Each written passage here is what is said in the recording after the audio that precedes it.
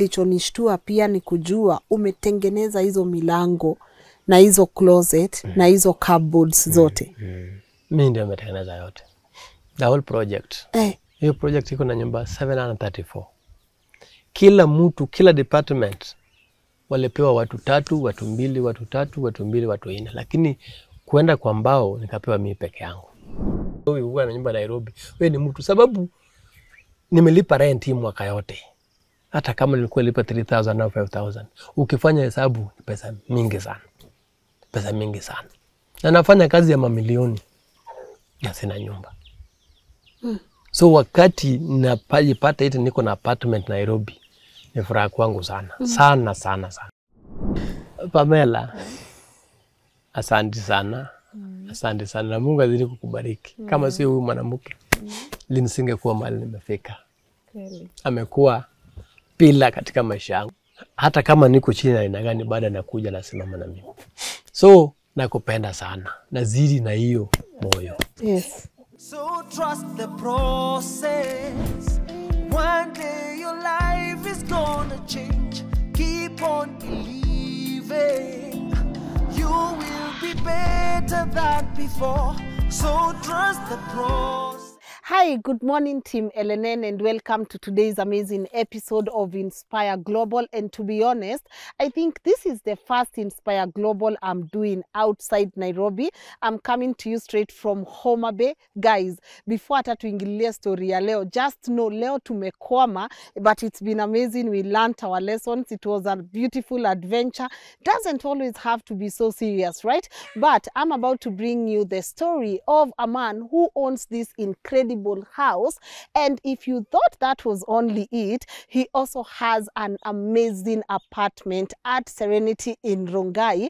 And I'm about to talk to him and find out how did he come from being one of the most despised people in this village to a homeowner here in Homa Bay and a homeowner in Rongai and why has he taken it upon himself to be able to uplift the people in this village no matter what they put him through.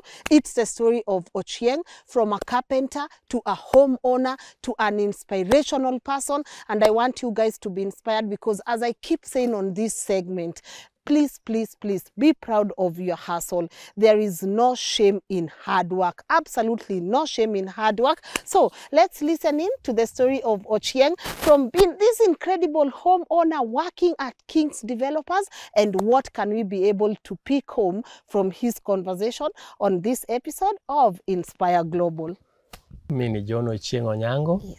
Karibuni sana sana kwangu, hata kama umepata shida kwa njia. Njia yetu ni rough, si lakini shida shida hiyo si ndogo hey, mimi sijai kwama hivyo kwa matope Lakini mmejaribu, mmejaribu, mmefika. Nashukuru sana.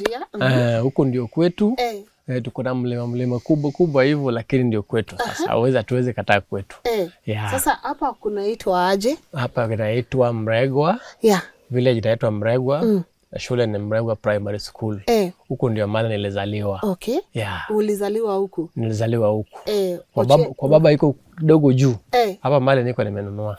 hapa sasa ni kwako. Hapa sasa ni kwangu. Mtu na boma yake. Eh, na boma yangu. Eh, na tunaona bibi pia pale Pamela.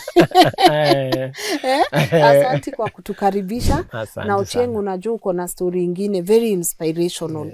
yeah. Mi hata mi venye nilisikia story yako umefanya vitu mob sana Yeah. umejijengea huku yeah. umejinunulia shamba Nairobi uko na apartment yeah. as in, naangalia stori yako na feel inspired, lakini najua hata kama ume watoto umesomesha hata kama ume accomplish hizo vitu zote, ningetaka kuelewa safari yako ilikuwa, yani safari yako imekuwa aje mpaka tukajipata tuko hapa penye una inspire hawa watu. Yes, safari yangu haikuwa rahisi hivyo. Nimezaliwa katika boma ya polygamous. Baba alikuwa na wanawake watatu, mama yangu alikuwa wa pili. I'm the first born to that family. Nime struggle katika hii village. Hii village ukiangalia, kuna mlima pande na mlima pande hii almost kila mali nimefanya kazi nikijitafutia. Eh, kukuwa polygamous ni mzuri, lakini saa nyingine inakuwa shida Yeah. Unfortunately mama alikuanga mgonjwa mm. baba anafanya kazi nje, so ilibidi ni struggle kama mwanaume mm. tena kama msichana kwa hiyo nyumba Mm. sababu lazima ushughulikie mtoto mama akiwacha, sababu mama akuzaa msichana. Tena ile kitu ilikuwa inatuumiza sana, mama alikuwaga na ugonjwa wa TB Mm. imemsumbua sana katika maisha yake. Yeah. Baada ya wiki mbili ndio huyo ako kwa kitanda, yeye ni mgonjwa Mm. inabidi nishughulikie watoto sasa, mm -hmm. ende kuchote maji, nichune mboga, tulete tupike, at least family mm. tupate chakula tukule. mm -hmm. Eh. Nimestruggle kutoka hiyo, si kujua maisha inaweza kuwa mzuri, lakini nimestruggle. Kwa hiyo unfortunately mama alikufa kabla sisi bado ni watoto. Nilikuwa standard 8 mama akiaga, lakini nilisukuma, baba akajaribu akanisomesha, nikafika form 3 nika drop out kwa shule ili nishughulikie watoto wetu mm. yeah. So uli drop here form 3. E, nimedropia form 3 So ilikuwa ni desire yako umalize masomo. Nilipenda sana kumaliza masomo lakini kwa sababu ya hiyo familia ya polygamous, mama akienda ni kama sasa mimi nilichukua jukumu ya watoto wetu. So ilifika wakati baba anasema sasa lazima mtafute bibi ndio alee watoto yenu. Sasa hii ilinifanya nika, nika drop out kwa shule mm -hmm. nikakuja kuanza maisha yangu mm. yeah. Nilitoka nikaenda Nairobi. Nairobi nimestruggle kiasi, si kujua nini naweza kuwa mzuri katika maisha yangu Mm.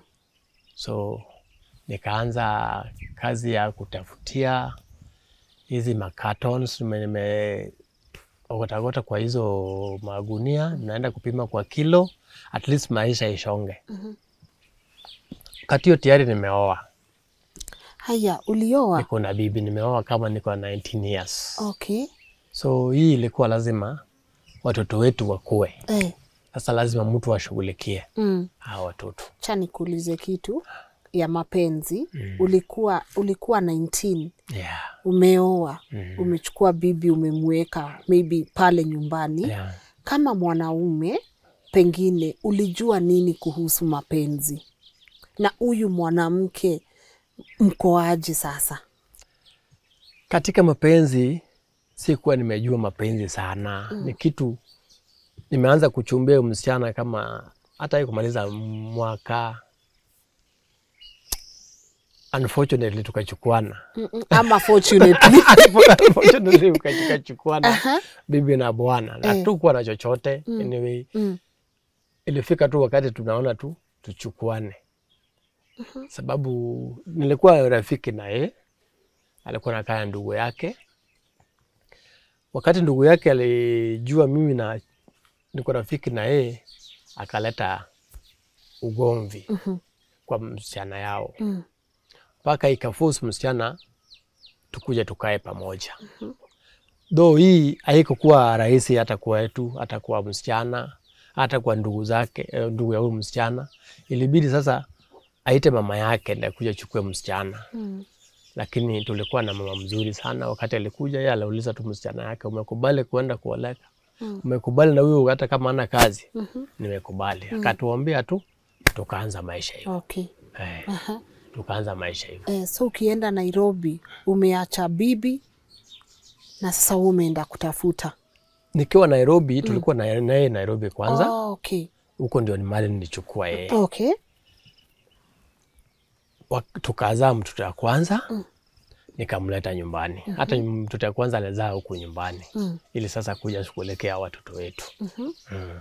Okay. Sasa hapo ndio sasa maisha ilikuwa ngumu, sababu mi niko Nairobi, yeye ako nyumbani Mm. na nyumbani mali yako ako na wale step in-law ambao Yes. ni wa, wa, wa mama mm. hawakuwa wanapendelea yeye sana mm hata wakuwa wanapendelea hii familia yetu sana Mm. mm. Lakini nashukuru mama yake, sababu mama yake alisimama na sisi sana, alikuwa naimiza mtoto wake, umesaenda umeenda, kuna mali utarudi tena. Mm Okay. Yeah. Halafu. Hapo ndio nikaanza maisha sasa. Yeye ako Shago, mimi ndio huyo niko Nairobi. Mm. Nairobi naye na struggle, sina kazi ambayo najua nafanya inaleta mapato Mm. lakini ni kati ya kutembea kutafuta makaratasi upeleke upimi kwa kilo Mm. ndio at least jioni upate kitu Mhm. urudi naye kwa nyumba. Bahati mzuri nikapata na kazini yangu wanafanya kwa mjengo. Huyu ndio sasa akaniintroduce kwa mjengo, nikakuwa mtia mkono huku, nikaanza kazi. Sasa huko nimefanya kazi kwa muhindi sana, nikiwa kama stokipa ya huyu kasini yetu, lakini muhindi alikuwa ananipenda sana. Kwa sababu alikuwa anasema mimi ni mwaminifu. So at this time yote huku nyumbani niko na hiyo nyumba ya nyashi. Ukikuja we ndio huyo, mvua inanyesha, unatafuta vile utaifunika. Siku moja nikakuja nyumbani, vile unakuja nyumbani unawakesa moto kwa nyumba, eti nyumba ikuwe moto, sababu ilikuwa baridi, hakuna mtu analala. Ikachomeka yote, sijui nini ilifanyika, kastuka nyumba imechomeka yote. Ilibidi sasa tulale kwa tukaweka miti ine tuweke curtain, tulale ndani, kwa sababu Wajaluo wanasema kwa nyumba yako ichomeke, uende kulala kwa nyumba ya mtu mwingine. Aya, ukweli huwezi omba usingizi pengine Huwezi omba usingizi pale ingine. eh. Sasa ilibidi niweke tuweke miti nne, tutengeneze na curtain, tulale ndani, ndio kesho tujenge nyumba, mm. tuite watu kusaidia kujenga nyumba. Tulala na huyu mama, hiyo ndio sababu nasema amekuwa pila yangu. Kama juu tunaona kuna kitu imetufunika, ndio kesho yake tukajenga nyumba. Hii wakati yote bado hawa ndugu yangu wamekuwa kama watoto wangu, nawaangalia waende shule aje, wakule aje, na hizo vitu zingine. So nikifanya kazi kwa huyu muhindi huko, muhindi akaniambia lazima ujue hii kazi ya mbao. Anyway, si kufikiria naweza fanya hiyo kazi ya mbao, sababu nikumbuka wakati tulikuwa primary, wakati tulikuwa 844 tulikuwa na randa. Sasa mimi wakati mwalimu anasema uchukue randa, anasema hapana, hiyo ni madharau. Mimi sioni kama ni mtu naweza fanya kazi ya randa. Nilijua nitamaliza kazi nipate kazi ya ofisi mahali mtu anavaa tai akienda. Lakini wakati sasa nimefika huko muhindi ananiambia lazima ujue kazi. Sasa hapo ndio kaanza kujua kazi ya mbao ambao ninafanya. Okay. Kwa hiyo hiyo kazi imenipeleka, imenisukuma mpaka nimefika mahali naweza kuwa mtu Mm. hata kwa kijiji ambao nimetoka. mm. Nikikumbuka kwa hii kijiji, unaona hii kijiji, nakwambia hii nini, mlima Pandei na Pandei, hakuna boma sijawahi kuenda kufanyia kazi kwa shamba wakati nilikuwa mtoto mdogo. Yaani nyumba ya mama ni ile nyumba ilikuwa imedharauliwa, sio mtu anaweza omba hata kijiko hata kikombe, sababu ilikuwa na TB. Sasa unasema ukiwa na TB uweze chukua kikombe mtu fanya nini? Uta, utagonjeka atakuambukiza. atakuambukiza. Mm. So hatukukuwa tukianza, ni kama tu kuwa na hope tunaweza fika mahali, but kupitia hiyo mjengo naona sasa hata watu wa boma hii- wa village wanaweza jua nyumba ya mtu fulani iko Mm. mtu fulani yako. mm. Ni, so hapa kwote hakuna kwenye hujafanya kazi. Hakuna boma ambayo sijafanyia kazi, eti sijaenda kupalilia kwa shamba, hakuna. Na malipo ilikuwa ile ya chini kabisa. Unaenda saa ingine unalima kutoka na gorogoro moja, hiyo ndio tupeleke kwa mashine tushage, tuende tukule. Vile bombo ya nyumba ni ya vijana watano, unaweka kwa sufuria jioni na malizika, kesho tunatafuta tena ingine. mm. Na wakati huo wote nini inakupea motisha? Nini inatuma useme Ochieng, pambana, kazana? Kutoka wakati huo mpaka saa hii, mi nasema ukijikaza, yani ukiweka tumaini yako unaweza fika mahali utafika. mm No? Just take courage. Mm. Chukua kile chochote unafanya, usidharau. Hata kama unalema unafanya kazi gani, usidharau.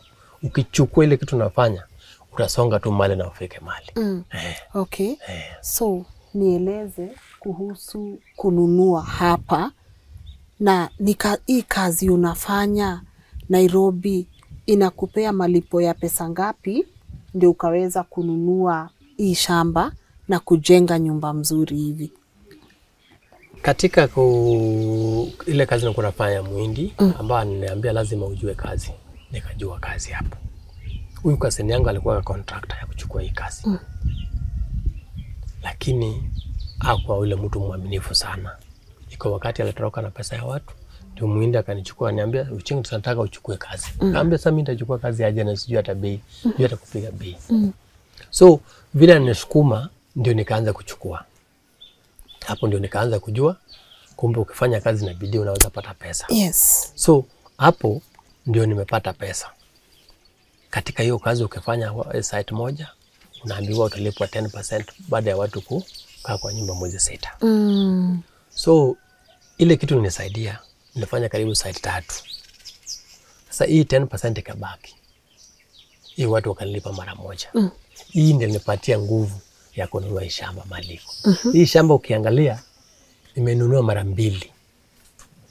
Kuna ile fence unaona, kuna hizo mamiti hapo. mm. Hii ndio tulinunua kwanza, mm. kuna ingine pale tumenunua. Mm. Hii imefika juu, mm -hmm. lakini ingine imefika kwa barabara. Mm.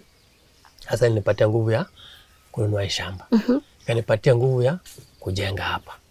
Hata wakati nilikuwa najenga hapa, vile watu wa hii village wananijua, walisema hii pesa imetoka kwa kwa Illuminati. Eh? Hakuna vile mtu anaweza fanya kazi ununue shamba na ujenge. Wa? Hiyo ndio kitu walikuwa nasema hapa, hawajaona wasema kuna mtu ametoka chini amejenga nyumba amenunua shamba, hiyo mm. wajaona katika maisha yao. uh -huh. So wakati nimefanya hiyo yote, walijua hii pesa imetoka kwa wale watu wanaabudu nini, mashetani. Eh. Ndio nimepata, nimenunua nini, nyumba, shamba na ukajenga. nikajenga, Eh. na hii nyumba imejengwa na vijana ya hii village. Sasa ile kitu nilikuwa nashindwa kama ni pesa ya shetani, kwa nini vijana wanajenga wanaenda kukula, wale wanaongea ndio bado wana, watoto wanafanya kazi hapo. Mm. Sasa unashindwa hiyo watu wanasema nini? Mm. Lakini unajua growth inachanganyishanga watu. Watu lazima wakuwe na kakitu ka kusema. Sasa huu muhindi ni Kings Developers. Huyu muhindi Eh. hakukuwa Kings Developers, Developers kwanza mm. alikuwa Nelam ndio akaingia Kings Developer. Sasa wakati ameingia Kings Developer akanishika mkono Mm. ndio akaniweka huko nikaanza kuchukua kazi kwa Kings Developers. eh. Ndio mali bado nafanya kazi mpaka leo. mm Hmm. So umefanya kazi kwa Kings Developers miaka kaa ngapi? Eh, nimeanza na King Developers 207 up to now. Wow. Nimefanya kazi kwa hiyo kampuni mwaka mingi mpaka mm. saa hii. So kwa miaka ingine ine utakuwa miaka 20 huko. Eh, nitakuwa mwaka 20 huko nikiwa kwa Kings. Eh. Eh, watoto wangu nimeshomeza nao watu wa Kings. But si watu wengi wanakaanga kwa mtu mmoja hivyo. Kilichokuweka hapo kwa huo muda mrefu ni nini? Na pengine pia utueleze ulijipataje unanunua pia apartment na pia kwani mshahara ya carpenter ni kape pesa ngapi hivi tu, tu, tu, tu, tuelewe hiyo hesabu. Lini, unajua sisi wa Afrika hatufikiri mtu anaweza pata kitu, yani hatuna that matumaini ya kupata nini, that you can struggle. Unaweza badilisha hii mawe kwa pesa. Hiyo watu wengine wafikiri hiyo kitu. Hii ndio mimi nasema wazungu wanatusindaga nayo. Mostly Afrika wanasema kwa muhindi huwezi tajirika. Hiyo ni kitu wanasema eti pesa yao inaenda kuombewa sijui nini sijui nini, huwezi fanya nini. Lakini mimi naweza toa ushuda, nimefanya kwa hiyo pesa yao kidogo mpaka nimefika mahali nimefika. One side waliniambia Ucheng, fanya kazi, tutakulipa, andika tu msara ya watu every week, ile pesa tabaki tutakulipa. Pesa ikabaki ikabaki, vile mimi pia sikuwa najua pesa. Sasa naona pesa inabaki mingi, nasema "Hii mtu sitatoroka na pesa yangu. Watu wananiambia eh, huyu mwindi atatoroka na pesa yako na nini, lakini siku moja kaniambia uchen kesho hebu kuja na bibi yako. Tukaenda na huyo mama kwake, akatupeleka kwa banka, Alimpatia pesa kwa basha, akamwambia hebu hesabu. Alishindwa kuhesabu, akasema akamwambia hii ndio pesa bwana yako alikuwa anafanya kazi, akashindwa kuhesabu. Huyu ni muhindi, akatupatia 300,000 akatuambia 300,000 200 nataka mfungue account. Nyinyi wewe na bibi yako. Na hii pesa mtu atoa, naongea na watu ya bank, mkitoa atanipigia simu na uko wa fix account. Hii mia muende mfanye naye kazi yenu. So hii pesa ah, sasa, hii ndio chanzo ya pesa yetu, tumeanza kusimama nayo, tukaanza kujua tunaweza kuwa na pesa. Mm -hmm. Kuna ni mwindi tu ndiye ametuambia tukaweka pesa kwa fixed, ikakaa karibu mwaka tano zimo, ndio tukaanza. Hii ni mtu tu anatu advise tusonge Mm. akapatia bibi pesa, hata alishindwa kuhesabu, hata mimi sikuhesabu. Mm. Mm. Na mtu mwingine alikuwa tuambia, huyu mtu atatoka na pesa yako, usikubali. Mm. So hivi ndio mimi naamini Wahindi hata kuliko Afrika wenzetu, sababu ukitrust hao na wewe pia ukuwe mwaminifu, watakuleta juu Mm. na utafika juu. So unapofanya kazi endelea kujijenga. endelea kujijenga na usidharau Yes. ile kitu mwingine ananiambia, au akazaa mtoto, kila mtoto aandikiwa msara yake, hata akiandika shilingi tano kwa siku, hiyo pesa ataguza mpaka huyu mtoto akue. Mtoto akikufika wakati akuenda shule ako na pesa yake. Mm. Kanaambia Uchengu, usijaribu kuweka pesa mingi, weka ile pesa ni kama unafanya nini, unatupa, yani umesahau, Mm. Utasonga. Mm. Hii kitu ndio imenisongeza sana sana, mm -hmm. na ndio imefanya nimeamini hao watu. Mm. mm. Nimeona projects mingi sana lakini nimeona apartment ama niseme bonge la apartment yako pale Serenity Ah. hapo Rongai, uh, nyumba mzuri sana lakini kilichonishtua pia ni kujua umetengeneza hizo milango na hizo closet na hizo cupboards zote Mi ndio umetengeneza yote, the whole project. Eh, hiyo project iko na nyumba 734 kila mtu kila department walipewa watu tatu watu mbili watu tatu watu mbili watu nne. Lakini kwenda kwa mbao nikapewa mimi peke yangu. The whole project. Mimi ndo nimepewa hiyo contract ya kufanya. Kwanza mimi nashukuru hao sana kwa hiyo. Sio rahisi. Unasema hii kazi ni mingi uweze maliza. At least mlango tupatie watu wengine kabati tupatie watu wengine. Lakini mimi nilipewa yote lakini kabla kupewa nilipewa masharti. Ambayo ilikuwa ngumu, lakini saa hii sasa naona Mungu aliingia kwa huyo mtu aliongea. mm, Kuna kijana moja ya Kings anaitwa Moise, aliambia uchie ngazi utaenda kukupatia, lakini kwa masharti. Nyumba ni 3.2 contract ndio hii kwa around 16 million. 3.2 tunakata. Hiyo pesa, utafanya nini? Utaona. Hii pesa imebaki, budget nayo hii kazi umalize. Hii 3.2 takupatia nyumba. mm, Haikuwa rahisi kwangu, hata karibu mimi nikatae, lakini nilistuka kama site naisha, sina deni ya mtu na nimebaki na nyumba. Mm. so hii nyumba inanishin, yani wananishindaga vile ilikatwa hii 3.2 mpaka ikafanya nini? Ikabaki. Mm. sababu saa ingine kwa wiki wanakata 10%, 15%, hivyo hivyo ile pesa nafanya nini Inakatwa. inakatwa. Hii ndio imeenda imeenda mpaka sasa nimebaki na nini, nimebaki na nyumba. Mbona ulikuwa unataka apartment Nairobi? Eh, ukiwa na nyumba Nairobi, siwe ni mtu wachata gari. Ukiwa na nyumba Nairobi, ukiwa na nyumba Nairobi, we ni mtu, sababu nimelipa rent hii mwaka yote, hata kama nilikuwa lipa 3000 au 5000 ukifanya hesabu ni pesa mingi sana, pesa mingi sana, na nafanya kazi ya mamilioni na sina nyumba so wakati napajipata iti niko na apartment Nairobi ni furaha kwangu sana mm. sana sana sana sana sana Mm. sana Na ni two bedroom. sana, nasikia poa Eh. sababu niko na nyumba Nairobi. Aha. Unapangia kuifanyia nini? Mimi nimeiona ni nyumba smart, nyumba ziko place poa, but unapangia kuifanyia nini? Uko Oshieng, sasa uko na uko na huku uko na Nairobi ama Mombasa pia unaenda eh, una, una, unapangia kufanyia nini? Kazi kutup, kazi ikikubali tuende Mombasa tutaenda, Tu, amen. lakini hiyo nyumba Mm. naipangia nirentishe, sitaki kukaa. Umeona kwangu mahali unakaa si mbaya, hata sio mbaya vile. Eh, we, hii- Kwanza najiinua kwanza, nimesonga nimefika- nimefika hapo. hii ni bungalow. So ile tunaelekea uzeeni, tuko mwaka mingi saa hii almost 53 mimi mm. eh, mama pia unaona mm. afadhali tupate kitu naweza kupatia nini chakula ya mm. mwezi ya mwezi, tuko na kitu tu- hatusumbui watoto, So hiyo ni retirement plan. so mi na retire na hiyo nyumba yangu uh -huh. Mm. Eh, na ukiambiwa usave ndio upate apartment, hauku unasikia ni kama ah, mbona watu wananikontrolia maisha Wacha hata kusikia. Watu wamekuja kwa masikio yangu, hata wakati hiyo nyumba imeisha, watu waniambia wewe uuza hii nyumba upate faida hivi na hivi.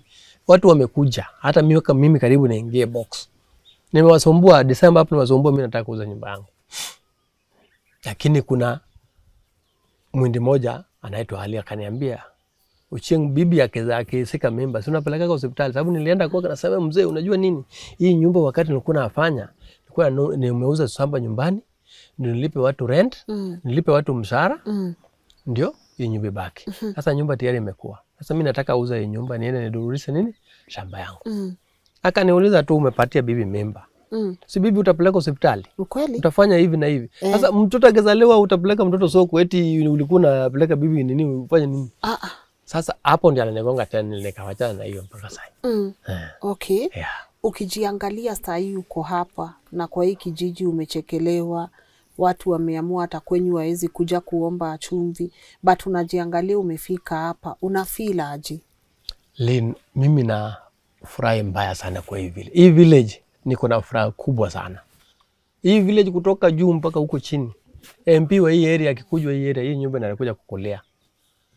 Sasa nasema ile shetani ya kukataa eti sana sinichukulie kwa mama yangu, siku hizi wanaona. Na kuna watu wengi sasa wanaongea juu ya hiyo. Unasema hii nyumba ilikuwa inadharauliwa. Siku hizi hii nyumba inakaribisha nini wageni mm. kwa hii boma. Mm. So na feel proud sana zaidi Mm. na feel proud sana Mm. kwa hii maisha niko nimefika mpaka sasa hivi. Na ile kitu naweza ambia watu hmm? struggle, fanya kazi na bidii, siku moja Mungu atakulipia. Mm. Uh, hata kama mtu Mungu mtu anakupatia pesa kidogo, siku moja Mungu atakurudishia hizo vitu mm. zote. mm. So mi naona hata saa hii ni Mungu amenirudishia hizo vitu, hata kama nilikuwa nafanya kwa shamba ya watu hapa. mm. Saa ingine nilikuwa nilipa pesa ya duni, mtu awezi nilipa pesa mzuri, Mm. lakini saa hii Mungu amezilipa hizo pesa Mm. eh. Sababu sahii hata mi naweza ita mtu yule nilifanya boma yake, mtoto yake akuja afanye mimi kazi, Yes. so na feel proud of that Eh. eh. Kwa mara mbili tatu, hata tukikunywa chai, na asanti sana Pamela kwa chai, umetaja huu ni mwanamke amekushikilia sana. Mm. Umuhimu ya kukoa kwa ndoa na mtu anakushikilia ni upi, na unaweza sema nini kuhusu Pamela? Hakuna mwanaume anaweza songa mbele kama una bibi ambaye amekushikilia. Waambie tena, Uchie, rudia. Hakuna mwanaume anaweza songa mbele Eh. kama una bibi ambaye anakuongeza bidii ya kusonga mbele. In short, behind a successful man Lazima kuwe mwanamke, ehe. lazima. Mhm. Hiyo ndio imekuwa pila yangu. Huyu Pamela amekuwa pila yangu katika maisha yangu, Mm. amekuwa pila katika familia yetu, Yes. watoto yetu, mandugu zangu. Hakuna yeah, mtu ajaoa kwake, wote wameoa wakwake. Mm. So amekuwa as my mother Yes. Na- Amekushikilia. kabisa, Ungetaka kumwambia na nini? mtu muhimu kupita yeye ilikuwa eh. mama yake Eh. eh? Eh. Hata kama ilikuwa vita aina gani, Eh. mama yake anamkataza pana, Aha.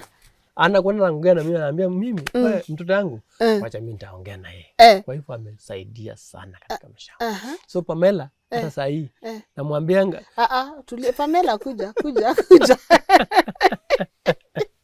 Kuja kuja mama, dakika moja tu, ni muhimu. Si mimi una Pamela, njoo hapa mama, si mimi unaambia. Nina- nama kidogo, ama unaweza kalia hapa tu, hatuwezi vunjika, jishikilia hapo, ndio huyo.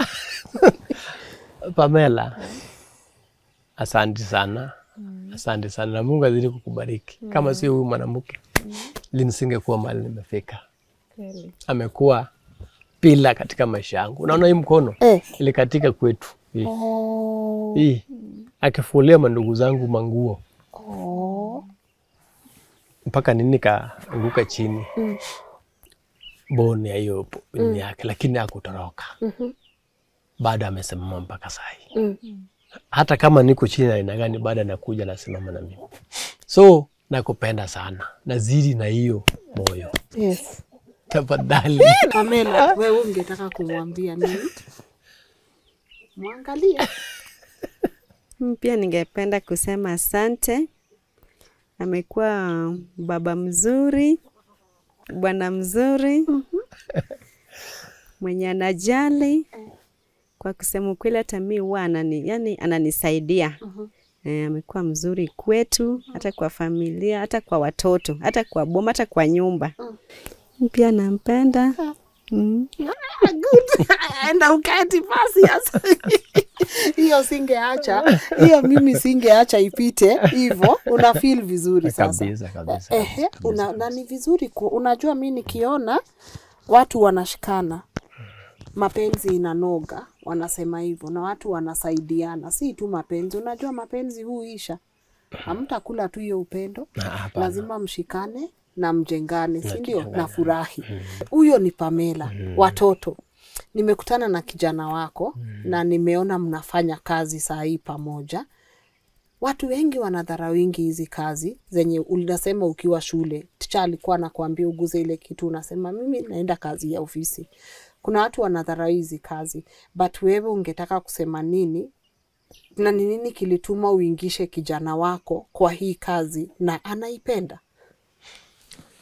Kwa familia yangu ambao ni watoto wangu nawapenda sana. Kule Jumundi na iko Dhiambo. Kule ndio first born wangu, na kwa hii rika yetu ama hii safari yetu ya kukuwa na mali mm. yeye ndiye amesafa sana kuliko kijana mdogo, mm -hmm. sababu amezaliwa kama tuna, so amepitia hiyo changamoto katika maisha yake. mm. So wakati amemaliza form 4 nikamwambia kijana, hii kazi yangu naona ni mzuri, nataka usome hii kazi, nataka usome architecture mm. Akakubali, akaenda kusoma architecture. Baadaye akajiongezea akasoma civil engineering pia. Hii nilikuwa namwambia yeye asome, sababu mimi si kusoma. Sasa nataka kuingiza yule mtu kidogo iko na knowledge katika hii kampuni yangu, ndio kampuni ipanuke ikue sawa sawa. So alikubali, nikamuingiza kwa kwa kampuni, though ujana na amesoma. Kukuja kwa kampuni haikuwa rahisi kwake, sababu aliona hii tuko na pesa kidogo Mm. na huko nje, vile alitoka nje mm. akapata tukazi tukazi, akaona huko nje kuna chakula mzuri kuliko wapi lakini kuna wakati sasa zimeisha haziko, inabidi arudi wapi? Arudi kwa kampuni. Nikakaleza hichi, nikamwambia mtoto yangu, hii kampuni usiposekelea ndio imekusomesha, shika hii kampuni tusonge mbele. Akakubali, akakuja tukashika naye pamoja. She's a very bright boy Yes. sana, mm. anajua kufanya calculation, accounting, quotation, anajua sana, Ako sawa. ako sawa kabisa mm. kwa hiyo kazi Mm. ndio sababu tunafanya naye mm. sahii kama one of my directors of the company. shikilia that's good one of the directors Yeah. of your company Yeah. nafurahi na wale watu wanadharau hizi kazi ungetaka kuambiaje Mimi bado nasema yule mtu anadharau ile kitu anafanya, uweze songa mbele, hata kama unalima, hata kama umeandikwa kuchunga Mm. kuna malipo hiyo kitu. Ukifanya kitu mwaminifu utasonga mbele. mm -hmm. So ukidharau kazi kama kazi ya mjengo, watu wanadharau. Saa hizi mi naambia watu hakuna ile kazi uwezi kosa kama wewe ni mtu ya mjengo. Hakuna mtu anafanya kazi atake kujenga nyumba. Hakuna siku nasikia mjengo imeisha. So mwenye anadharau mtu anafanya kazi ya simiti ajui kazi ya simiti ndio iko kazi hiyo, mm. ndio kazi permanent iko dunia hii. Kila mtu yule anafanya kazi anataka kujenga nyumba yake, anatafuta watu ya kujenga, tafuta mtu ya simiti, Kazi tafuta mtu ya kuweka mlango. Haitawahi kuisha, itaisha lini? Hakuna. Hata mahali umefika saa hii bado unataka kujenga ingine kubwa kuliko ile umejenga. Mm. So mjengo is there mm. ha? iko hapo kukaa, haiwezi isha. Mm. So mwenye anadharau mtu ya mjengo ajui kazi iko wapi. Mm. Kazi ya mjengo ni kazi inaweza inua wewe itoe mali mahali na ufike mali Eh, Mimi imenitoa na naona nimesonga na unaezidi na bado nasonga. yes. Eh. Si nimemaliza Serenity the 734. Sasa hii niko Nakuru 605 nyumba. Namaliza. Ochieng, mimi niko na swali hizo nyumba 734 ni umefanya kila kitu Mimi ndio nimefanya kila kitu kazi ambao. Sasa yuko Nakuru Niko Nakuru. hizo 6 605. 605 Eh. unafanya Nakuru Nafanya Nakuru. Tunaenda Ruiru iko na 1000 na kitu. ni wewe bado Bado nitaenda kufanya. So hakuna na siku na hapa kando umechukua mtoto wako umemwambia tutembee hii safari. Tutembee hii safari. hiyo ni muhimu naangalia niko nyumbani ushago lakini hmm. pale nairobi watu wanapotea umeenda maisha ya nairobi imekushika umesahau nyumbani una hata kanyumba una chochote watu unajua watu wanashika pesa inawachanganya na mtu hajajenga chochote hata nyumbani, hata hajajengea wazazi chochote, ungetaka kusema nini? Mimi hata kutoka utoto yangu ukiuliza yo Pamela, siwezi maliza mwezi tatu Nairobi bila kuja nyumbani, hata wakati sikuwa na nyumba. So ile kitu muhimu kwanza, tengeneza base wapi? Ushago. Hata ukatai Wajaluo, mi najua wakipata pesa kwanza tafuta gari Mm. badala ya kujenga nyumba. Utapata wako na gari na nyumba hakuna wapi? Ushago. Lakini mimi nilifikiria nikae nyumbani, ndio na sasa mmepata boma. Hii boma tungejenga Nairobi ama tungefanya kitu Nairobi, hatungekuwa na mali ya kuenda kama watoto watakuwa na base. Mm. Mm. Tena kitu ingine ilinisaidia kama huyu mama, unajua ukijengea nyumba mzuri na- na- ushago, hata fikiria mambo ya kuja ku Nairobi Hmm. eh? Ataona sasa, hata sahii akienda nyumba ya ile ya Nairobi yangu, si anaona hapa ni nyumba ndogo, atakaje? Si ni ukweli? Si uliona hiyo nyumba ni ndogo Eh. ukilinganisha na hii, Hakuna wapi? Ah, yeah. Ukweli. Unaona Eh. sasa hapa ako sawa Asikia anasema yes. yes. hata Nairobi akienda malizaki wiki Mm. anakataa, anataka kurudi kwake Eh, eh. Cause ya venye nyumba hiyo environment. iko sawa Mm. eh, tukilima pale tuko na chakula Mm. eh, tupata ako na magunia ya mahindi Mm, hapo mm. hata watu wakalea mahindi unga imepanda huko si tuko na chakula tukirudi hapa tunakula Mm. Mm. Ukweli? hatuna stress Ukweli. so ukitengeneza base ushago Mm. ni muhimu sana kuliko kutengeneza base mm -hmm. Nairobi sasa hata saa hii kama hiyo apartment yetu hata kama tumeweka rent tunaweza rudi tukae na tukule nini tukule hiyo yetu hapo bado tunaweza enda kulima hapa tupate unga yetu ya kukula Na mtosheke. na tutosheke Hey, that's amazing. Ah. Hey, sasa Ochi nikuulize, um, mafundi pia upitia kuna tumadharau hapa na pale, kuna watu kuongea hivi na hivi. Unaweza sema challenge ya mafundi ni nini? Unajua, kwa kazi hakuna kazi haina challenge. Mm. Hata mimi wakati nilikuwa fundi nilikuwa na challenge. Iko wakati mnakaa tu chini mnasema hapana, tugome msara iongezwe. Na hiyo ndio challenge kubwa ya mafundi Eh. eh? So hizi hata kwa hii kampuni yangu nakutana nayo, lakini kwa kila kitu ukijiamini Mm. utapata watu wawili watatu utakalisa chini, hata watu wakileta story na unajua vile unawazima. Mm. Kitu ingine kwa kila industry ama kwa kila chochote unafanya, pesa ni muhimu sana na kuwa mwaminifu. mm -hmm. Sio wewe umepata pesa unafikiria shida zako, sio shida ma mafundi. Mm. -hmm. These people ndio wanafanya wewe umepata nini. The same vile watu wa Kings wanajiamini kwangu, ndio sababu mimi nimesonga. Mm. -hmm. Mimi pia niamini watu yangu, ndio hao pia wafanye nini, wasonge. So hata wa challenges zikikuwa, lakini kuna watu wawili watatu ambao wanajua Ochieng hatuwezi fanyia hii. Mm. Sasa wakianza wale watu wanawazima, lakini haikosi Mm. ambao lazima wewe pia ukae nayo. Mm. Kuna wakati nikifanya Kings hapo milimani, kwa nasema mafundi niwapatia msara yenu, lakini mwapatia contract hii, pesa ingine nawalipa mwisho. Walistuka tu siku moja, pana uwezi kaa na pesa yetu hivyo, tupatie pesa yetu na kuchukua pesa yetu unanunua mang'ombe huko, wewe unasonga na sisi tusonge.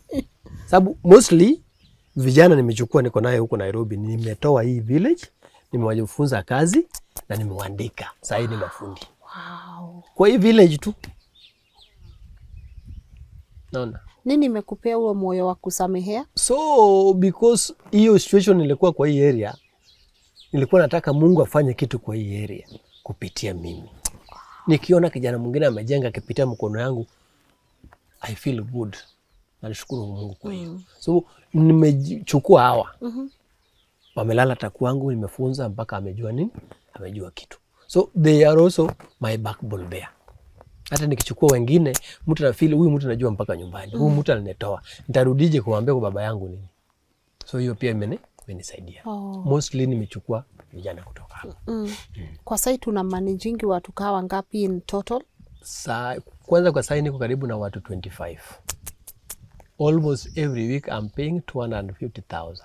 Ama lazima ukae nayo ukuwe na hiyo pesa. Mm. Bila hiyo huwezi songa hiyo kazi. Mm. Eh. So Kings wamekupea akakwambia jipange. Jip- lazima ujipange.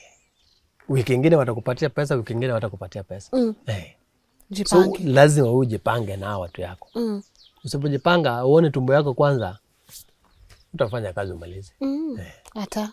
So lazima ujicommit, ngojea ile faida yako, kazi ikifanya nini, ikiisha. Usichukue faida yako before Mi niko na swali, hiyo, uta challenge, utamaliza kazi. nikuulize Uniulize. ile faida usha make kubwa sana after project imeisha, nikaa ya pesa ngapi?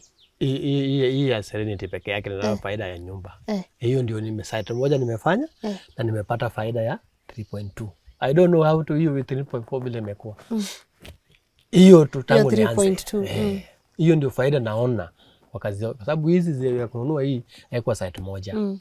kwa site mbili tatu Mm. lakini hiyo ni ya site moja Good. Yeah. And too many more. Sitaki kufanya marketing mm. leo lakini mm. nataka uniongeleshe kuhusu Kings kidogo mm. kwa sababu hii show yetu inawochwangwa sana na watu wenye wako hata majuu mm. na wamejaribu kununua apartments, unasikia umegongwa. Unajaribu kununua nyumba, unasikia umegongwa. Umefanya, umefanya na Kings almost uh, from 207 hiyo ni more than 15 years. Ni nini inawaseparate na watu wengine wenye wanakon watu maybe ni nini Kings inafanya different yenye inatuma wewe ujihusishe nao? Mbona Kings? vile nakwambia nimeanza na Kings kutoka kitambo Mm. hmm? watu wamesema wahindi huwezi tajirika na nini so mimi uaminifu yao na ukweli yao ndio imefanya mimi nikaa na Kings Mm. na hata nyumba nikinunua hata wakati wananiambia watu wamekuja na story wao watakudanganya sijui nini sijui nini sijui nini lakini mwisho nimeona kama niwapewa kifunguo ya nyumba so Kings Ah, niliona uliongea na rais pia. eh, mpaka president akapata kifunguo Good job. Eh, unaona sasa hii iliambia kumbe hii watu sio watu wabaya sio mtu anaweza danganya mtu. Eh. sababu mimi ni mdogo sana. Wangedanganya na wacheze game na wauze hiyo nyumba tena. Lakini imagine wamene mm. wamenishikilia hiyo nyumba mpaka saa hii Mm. na wakaweka kwa jina yangu. So kings especially kings sio watu wa kudanganya watu. So site zao zile zote nimefanya. Umefanya wapi na wapi? eh, nimefanya mingi. From the first site mdhama. Mudhama Heights. Mdhama Heights, nikaenda 360, nikaenda Mlimani Nakuru, nikaenda Rivera, Skyrock, Pal, Shaud, King's Distinction. Eh, kuna ingine iko karibu Imara hapa inaitwa nini, Millennium. Eh, hmm? Tukatoka Millennium ndio sisi tukakuja baharini, ndio sahii tuko King Serenity, Eldoret, sahii tuko Nakuru, Sapphire. So karibu sati zote tatu nimefanya kazi mm. Mm. Na watu wa na sijasikia mtu amesema Kings amewakon, Okay, sijasikia. that's nice. Prism Towers. Nani ya... Prism Towers. Eh. Hata juzi hata wa serikali wameingia hapo na natengeneza mapartition hapo ndani. serikali imechukua floor karibu kumi na mbili. Eh. Eh, bado nafanya kazi huko. Eh, good job Ochieng. Good job. Umefanya vizuri. You've done umefanya mambo mazuri kwa maisha yako mm. na Mungu aendelee aendelee yani kukuinua Asante penye huko. Mi nikiona mtu ame, yani nikiona tu mtu ako na kakitu kake nasikia poa.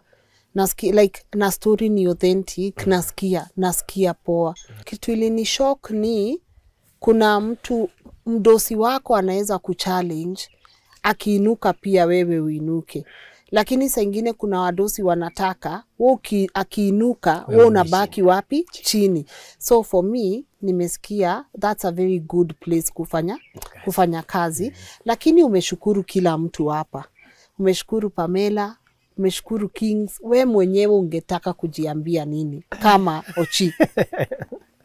Ijakuwa rahisi. Ah, Ijakuwa rahisi katika maisha yangu. Eh, ungetaka kujiambia nini? moyo wangu ikuwe hivyo hivyo tu, sio moja- moyo ya kujiinua, lakini ukuwe vile Mungu amekuweka kwa hiyo level. Lini nikwambia hata sahii niende Nakuru na watu wakuje waambie huyu ni Ochieng. Siku moja waliniita ita ni MC alikuja hapo, anaambia huyu ni Ochieng, alikataa. So kuwa ile level yako Mm. na ujiamini kwa kile kitu unafanya, utasonga mbele. Mm. Rais, muliongea nini Eh, na ilikuwa aje? Mmeona matope hapa ile kwetu, mmeziona vizuri vile iko. Wacha saa hii mmepata barabara imewekwa eh, imewekwa kwa nini hiyo hiyo maram. eh, Hiyo wakati ya rais haikuwa maram. eh. Nimepigiwa simu nilikuwa huko juu, kwetu kwa baba iko huko juu. Saa nne usiku. kesho nataka Nairobi saa nne usiku, na hapa nyinyi mmejaribu na gari. Si tulipitia barabara mbaya so. By the guys we passed the game drive. Hiyo ndio ya game drive. Eh. tulipass ya kuingia game drive sasa. Ile penye tumekwama na matope. Hiyo Eh. hiyo ni ya kuingia game drive. Hiyo eh, ndio sasa naingia main camp. eh, Naambiwa hata kama ni ndege kesho enda chukua ufuje nini, nashindwa ni nini. Nilikuja hapa ngambie mama naenda, hata mama kafikiria huyu mtu iko na mpango mwingine na Homa Bay anaenda. Niliwacha chakula kwa meza Eh. asi kukula. mm, Kufika site saa tatu nikaambiwa, nikapata polisi zimejana, akasema nini inaendelea hapa? Kaambiwa kesho kuna rais anakuja, anataka kutengeneza platform. Ah, Sasa kijana alikuwa iko si Mungu atangaza mtu kijana, hapana, wewe ndio mkubwa, unasema kuwa hapa. So walinificha. Kesho yake ndo nikaambiwa kama bado wanawa rais kufika, eti unajua wewe ndio unaenda kutoa speech. Anyway, nashukuru hao madirekta yangu sana sana sana sana hiyo siwezi sahau, siwezi sahau Mr. Ali, siwezi sahau hao wote, siwezi nikasahau katika maisha yangu mm. mm. Sababu kuna ma contractors wako na magari wanaweza toa speech mzuri, wanaweza toa kizungu mzuri kuliko mimi, lakini walinichusu, nikaongea pale. Hapo ndio niliona na rais mm. Baada ya two days niko Nakuru, rais ndio huyo PS anipigia simu eti kesho natakana kwa kiwanja eh? A simple man like Ochieng. like Ochieng naenda kuongea kukaa kuna rais karibu, nikaenda nikapatikana na polisi karibu waine, walinibeba ni kama mtu umeshikwa bwana, najikuta karibu kiti ya rais. Aki, sijui niseme nini, badala ya kuchukua na furaha niliona machozi yangu ikitoka. Kasema huyu ni yule mtu ametoka kwa ile village, watu walikuwa na dharau, amefika mahali. Kwa hivyo Mungu, wacheni Mungu aitwe Mungu. Mm. Nashukuru Mungu sana nashukuru hao madirekta yangu sana. Jioni yake nikaona Mr. Ali akaniandikia kwa WhatsApp akaniambia, Ochieng, hiyo ni sababu ya bidii yako na uaminifu yako. Nimeshukuru sana mpaka sasa hivi. Wow. Ndio saa hiyo nikajua kumbe hiyo watu wananiamini eh? Wanaona uaminifu ndani yangu mm. Kumbe mtu anaweza kuona kitu na kuonyesha, lakini walinionyesha wakati mm. Nilifeel vizuri sana mm. Kuna mtu mmoja hapa ni mtu wa kunyoga pombe akaa pale chini. Yeye ndio wakati ya mama yangu hiyo tunaenda kwa kwake kuchukua mboga, alikuwa anapanda mboga. Yeye alisikia kwa redio kama inatangaza jina yangu, akanipigia simu, ni wewe ama ni mtu mwingine? Nikamwambia ni mimi. Akakuja kuambia watu kweli, Mungu ni anatoa watu mbali, mm. unaweza fika mbali. mm. So I'm feeling proud. mm. Uh, I thank God for that. Amen. Yeah. and thank you for being an inspiration kuna mtu anakuwatch mm. na ana feel ako down Oh, yes. kuna mtu anakuwatch anataka mibi kufanya kazi kama yako familia inamwambia enda ukue lawyer ama ukue dokta na saa ingine unajua wazazi wanataka mazuri kwetu lakini saa ingine pia we kaa mtu kuna kitu unataka kuna mtu anakuocho Ochieng ana hata pesa kidogo ya kuanza ana kwake ana apartment ana mtu kama Pamela ungetaka kumwambia nini bado tu narudi kwa ile stori yangu vile nilianza, sikukuwa na kitu na sikujua nitakuwa na kitu. What is there, work hard. Ile kitu umepata, ile kitu unataka kufanya, fanya na roho yako yote. Yes. Usidharau ile kitu unafanya. Ukidharau kitu unafanya huwezi songa. Mm.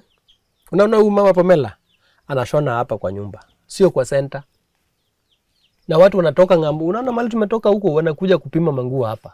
Kwa nini? Quality ile kazi anafanya, anajiamini ile kitu anafanya na akosi wale watu makastama zake hiyo mm. utasonga tu mbele tu mm. utapata tu pesa tu mm. mm. hata juzi alikuwa niambia eh, bwana yangu nafanya kazi sana nataka tuchukize pesa sikuze tuna watoto mnasomeza tuende tutembee naye Mombasa juzi tu anipigia simu akisema hivyo anataka kwenda Mombasa tunafanya kazi mingi tunasomeza nani sahii na kule nafanya hapa mpaka saa sita usiku Mm. na watu wanatoka mbali so ukijamini ile kitu unafanya Mm. ha? Mm. Ha? utasonga Mm. usidharau hiyo pesa unapata Ukisema pesa ni kidogo, hata upate mingi ni kidogo tu, Yes. utasonga naye mbele. Yes. Eh. lakini ukweli mm. peleka bibi Mombasa, endeni mkule raha siku mbili tatu, mjivinjari hapo, ambia watu wa Kings wakutafute baadaye, enda ujivinjari ukule raha siku tatu tu mm. ama ine, alafu uru, ona venye anacheka, ona hiyo smile. Hii smile mi nakusaidia, hii smile ni ya kusema yes, unaona, so nakusaidia hapa enda Mumba, Aenda enda Mombasa. Mombasa, Yeah. andikia mdosi umwambie mm. I'm out mm. for a week, mm. see you next week. Siwendi Ochieng, see you next week. Ah. Eh, mi nimefurahishwa na kazi yako, ukweli nimefurahishwa pia na kampuni yenyu. nipoa Ni poa kuona kampuni inajitolea inatoa mtu yani inasimama na wewe itaki tu wakuwe juu pekee si unaona prism venye ni refu Eh. then uko na watu wenye wako huku chini haita make sense mm. so nimefurahi na nilipendezwa na kazi yako mm. mi sikujangi kuuza kitu yenye sijapenda mm. nimependa sana kazi yako asante na maybe hata audience as wanagoja kwenda kununua apartments mm. pale Kings mm. wangetaka kukuita pia uwatengenezee closets, milango nini un, un, unge uko na namba nimesikia uko na kampuni sasa kumaanisha uko na namba yoyote ungetaka mm. kupeana Mimi kampuni yako ni Jock Renovators yes ambao ni jina yangu na watoto wangu. good Namba yangu ya simu ni 0723 Yeah. 95 Yes. 6644. yes Ukitaka kazi mzuri, kazi ya kabati, kazi ya mlango, hebu nitafute, nitakutengeneza quality ile unataka, good quality ambayo inalingana na pesa yako. good Sitachukua pesa yako na nikupatie quality ndogo, Mm. Takuletea ile quality kulingana na pesa yako. mm. So kama huko hapo nje, tafadhali unijaribu, yes utaona quality vile iko yes na nitakutolea kazi vile natakikana. Mm. Iwe ni kazi kubwa aina gani, bora tuelewane malipo mm. na duration, mm. tupangane, tutamaliza. yes Ya Kings mingi tunamaliza in time, hakuna siku tumerudi chini. Mm. eh. and all the best. And all the and best. may you grow to be a homeowner. Huku ukuwe na apartment Thank huko you. ingine ingine ingine ingine. ukuwe mtu wa real estate. Saa hii eh, tangu Serenity najua naweza kuwa na nyumba. Hata Ruiru nataka kuchukua at least mbili, at least nikuwe na manyumba, sababu naona naweza. Yes. Eh. yes. Eh. Saa hii naweza, siwezi nikashindwa, good. So nataka kusonga ile level ingine. tusonge. Eh. tusibaki penye tuko. Hapana, yeah. So after mombasa enda uchukue nyu enda uchukue enda uchukue nyumba. Ochi asanti. Asanti nimefurahi kufika Homa Bay.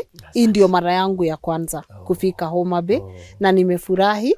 Pia, nimefurahi kukwama. saingine. Saa ingine unajua we umepanga vitu zako, alafu God amepanga vitu za zake. Unajua tulikwama tukaamua saa cha hapa tupoeshe gari na tula Tulale. na tulale, lakini we mwenyewe ukatoka huku na ukakuja pia kutuchuku mm. kutuchukua. mm. So nimefurahi sana and I wish you all the best. Kuna kitu ingine ungetaka Mimi kuongezea? nawashukuru sana, Oh. nawashukuru sana Lynn, umechukua wakati yako, sio rahisi eh? Kama wewe mtu mwingine ungechukua ile nini ya Nairobi story imeisha, lakini umechukua jukumu yako na wakati yako kuja kwangu. Yes. I feel proud on that. Kitu ya kwanza na feel proud, mmekuja kwangu Yes. ile nyumba watu wakufikiria mtu anaweza kuja watu kama nyinyi, mmekuja kwangu. Asanteni sana Yes. na Mungu awabariki hata Yeah. kwa kazi yenu mnafanya ifunguke Yeah. hata nyinyi mpya mpanuke, si mimi niende juu, nyinyi msiende juu, Yes. Tupanuane. Amina. Eh, tusaidiane, nyinyi mnisaidie, mimi pia niwaombe Mungu wasaidie Yes. Eh. Na tuendelee kujenga hii kujenga nchi. kujenga nchi. Yes, salimia watoto sana. Kijana tulimit na yeye last time, so msalimie kabisa yes. na pia Mungu amfungulie mila Milango. Tumalize. sana. Let me wind up guys. Guy, thank you so much for tuning in and I hope mmekuwa inspired venye nimekuwa inspired. I think even me coming to Homa Bay, I've felt some beautiful energy. Sitting kwa compound, mnasikia the birds, group of schools, birds chirping ama birds chirping hiyo you can feel like the environment is just beautiful. Yani unafeel uko home. Hata where you desire to just have a home of your own. And to know this is a man akuwa na anything kwa hii village. Na sahii pia ameamua kukuwa tu na ile roho ya forgiveness anaweza toa watu huku na aende awaonyeshe kazi asikule peke yake. That's amazing. So my people you know how we do it. Kama uko na gig hapo and you need mtu wa kukutengenezea milango hizo closets kitchen hizo cupboards kila kitu. Details za Ochieng ziko hapa man. Mpatieni hiyo hustle because this man has a lot of beautiful energy going on. And I've also learned something. It's important for employers to keep challenging their employees. Msigrow tu pekee I mean I look at people like Kings developers with the amazing projects zenye wako nazo left right and center nilikuwa huko Serenity, Rongai and it's so beautiful. Yani you feel like you can just own a house, an apartment huko na uishi na familia yako vizuri na iko spacious na kila kitu. And I look at them they have nothing much to gain by empowering mtu kama Ochieng but they have taken it upon themselves kumuempower hata ya kuwe home owner so also guys and this is not even an ad. If you are able to go and check them out please go and check them out. They have affordable properties from Rongai to Ruiru and all the ones that you've seen running in these videos. And also their contact details tunaziacha hapa pinned on the comment section. So if you are able go and get yourself something. I do not associate myself with projects zenye najua mtakuja hapa baadaye mkoniwe. So when I tell you I'm vouching for Kings developers it's because I've done my due diligence. Unaona and if you have questions my email is info at lnn.digital or lin.ngugi at lnn.digital niulizeni and I will be able to answer them on your behalf. Sindio yani mkiwa tu na any conversation that you guys want clarity I'll even give you someone from there that you can be able to talk to. Other than that felt really nice being here in Homa Bay. Hata kama tumekwama it was an amazing morning lessons learned we had fun and the most important thing I've learned we make our plans and God loves. Our idea was to be here by 7 a.m. in the morning. Those were our plans. According to God's plans we were to be here at 11 so I appreciate being in Homa Bay and also for this amazing uh, episode my team I don't take you for granted. Muge and Joshua for coming all the way here tufanye hii kitu. And of course our incredible editors Kevin Sam. I do not take you guys uh, for granted. So see you on the next episode of Inspire Global. And you know how we do it if you have a story kwa Inspire Global by this I am challenged to bring you a lot of Inspire Global content email ndio hiyo hala at your girl and I'll be coming to cover your story maybe next on this segment of Inspire Global all right bye So trust the process. One day your life is gonna change. Keep on believing. You will be better.